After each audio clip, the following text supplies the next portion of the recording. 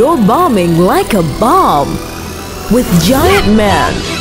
Mwaka 2022 mwezi Agosti tarehe 9 nchini Kenya ulifanyika uchaguzi mkuu na msanii Bahati alikuwa mgombea kupitia chama cha Jubilee kwenye alliance ya Azimio na alikuwa mgombea wa ubunge huko Mathare ambako alishindwa, na kuna mengi ambayo yalitokea kipindi ambacho uchaguzi ulikuwa unaelekea kufanyika, kubaniwa na kadhalika, lakini pia kupata nafasi ya kugombea na kushindwa. n kupitia kwenye ukurasa wake wa Instagram, msanii huyu ametangaza rasmi kuhamia UDA Alliance ya Kenya Kwanza chini ya rais wa Kenya William Ruto. So kwa sasa msanii Bahati yupo UDA kama chama cha kisiasa ambacho atashughulika huko, sio tena chini ya Raila Odinga na Azimio la Umoja ambako alihusu siku za nyuma. Msanii huyu alishea picha hizi ambazo zinamwonyesha kwa yeye pamoja na mke wake na kisha kuandika proud you son happy to be back home official received by the UDA party secretary General Honorable Cleopas Malala the leaders and fellow musician at the headquarters. Thank you so much,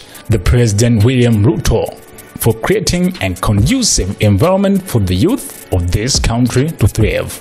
Kisha kaandika Mathare MP hashtag 2027 ni kuwa yupo UDA na uchaguzi utakaofuata wa mwaka 2027 atagombea tena ubunge Mathare.